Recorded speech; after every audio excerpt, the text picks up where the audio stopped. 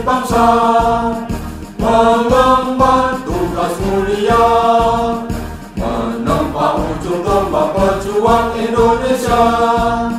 Bhinneka Wiratama Pancasila Sabta Marga menjiwai kehidupan kami.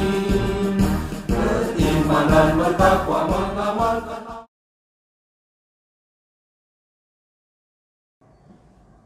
Assalamualaikum warahmatullahi wabarakatuh. Bismillah, Alhamdulillah, ala ni'amillah. Wassalatu wassalamu ala rasulillah. Wa la khawla wa la quwata illa billah. Amma ba'd. Puji syukur kita panjatkan kehadirat Allah subhanahu wa ta'ala Atas limpahan rahmat dan karunia kepada kita Sehingga kita masih diberi kesehatan keselamatan untuk melaksanakan kewajiban kita kepada Allah Subhanahu wa taala. Salawat dan salam tak lupa kita aturkan kepada junjungan kita besar Muhammad sallallahu alaihi wasallam kepada para keluarganya, para sahabatnya dan kepada para pengikut-pengikutnya sampai besok pada hari kiamat. Selamat bertugas kepada seluruh prajurit TNI Angkatan Darat, PNS dan keluarganya di mana pun berada agar dapat menjadi contoh dalam mematuhi protokol kesehatan kami dari Dinas Pembinaan Mental TNI Angkatan Darat mendoakan semoga kita selalu diberikan kesehatan, kekuatan, dan lindungan oleh Allah Subhanahu wa taala. Amin. Ikhwanul muslimin rahimakumullah. Dalam kehidupan keinginan tidak selalu tercapai dan tidak seperti yang kita harapkan. Kadang menyenangkan, kadang juga tidak menyenangkan. Manusia akan diuji oleh Allah Subhanahu wa taala untuk meningkatkan ketakwaannya. Semakin tinggi iman seseorang, semakin berat ujiannya. Manusia diuji atau diberikan cobaan sebagai mukmin seharusnya kita bersabar dan ikhlas menerima apa yang ditakdirkan oleh Allah Subhanahu wa taala. Manusia sering bersifat tergesa-gesa dan tidak sabar ketika diuji atau dikasih cobaan oleh Allah Subhanahu wa taala. Seketika mereka berputus asa terhadap rahmat Allah, bahkan cenderung menyalahkan takdir.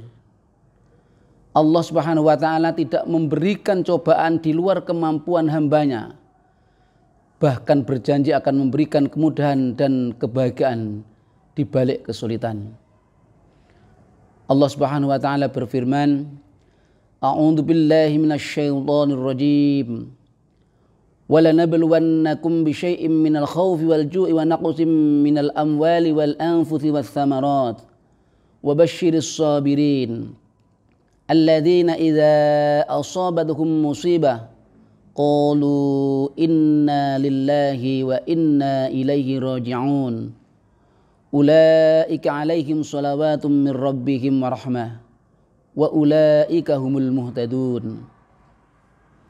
Artinya kurang lebih wallahu a'lamu bimuradi dan sungguh akan kami berikan cobaan kepada kalian dengan sedikit ketakutan kelaparan kekurangan harta jiwa dan buah-buahan dan berikanlah berita gembira kepada orang-orang yang sabar yaitu orang-orang yang apabila ditimpa musibah mereka mengucapkan inna lillahi wa inna ilaihi raji'un.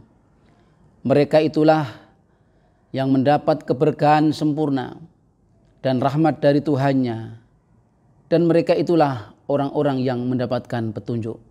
Para prajurit yang berbahagia ada beberapa hal yang bisa kita lakukan untuk menepis hati pikiran yang lagi kalut atau bahkan mendekati keputusasaan antara lain yang pertama meningkatkan intensitas membaca Al-Quran.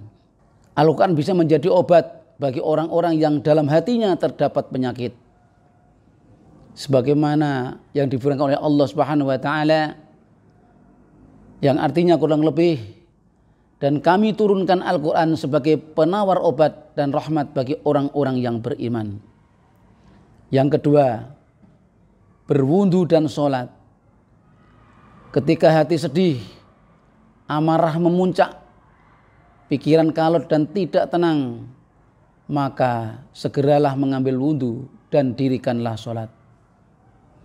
Inna allaha yuhibbu tawabina wa yuhibbul mutatahhirin Sungguh Allah menyukai orang-orang yang taubat dan menyukai orang yang mensucikan diri.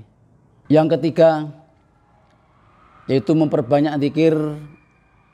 Dengan berzikir dapat menenangkan dan menenteramkan hati. Dengan memperbanyak berzikir, insya Allah segala masalah dan kegundahan hati akan hilang perlahan. Allah Subhanahu wa taala berfirman, alladzina amanu wa tatma'innu qulubuhum bidzikrillah ala bidzikrillah tatma'innul qulub Orang-orang yang beriman dan hati mereka menjadi tentram dengan berzikir mengingat Allah.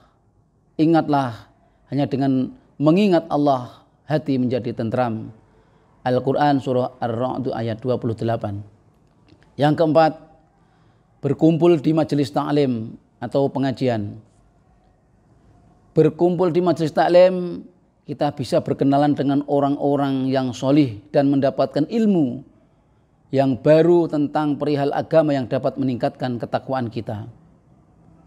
Yang kelima yaitu berkhusnudan kepada Allah Subhanahu wa taala.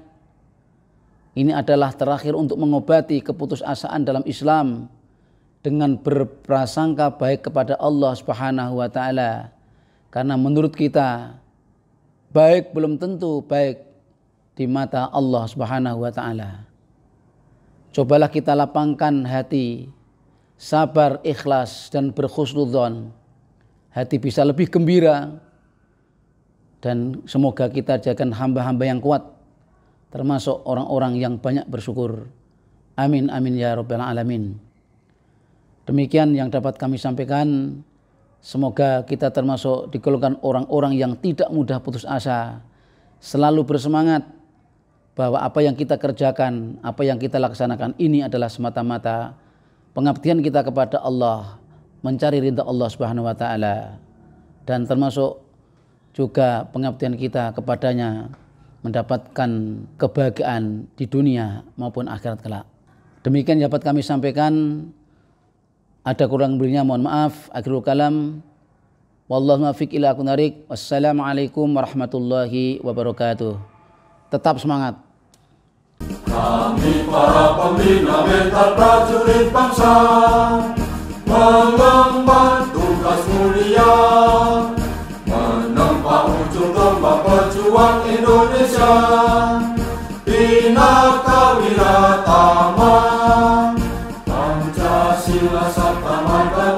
Marga menjiwai kehidupan kami Beriman dan bertakwa mengamalkan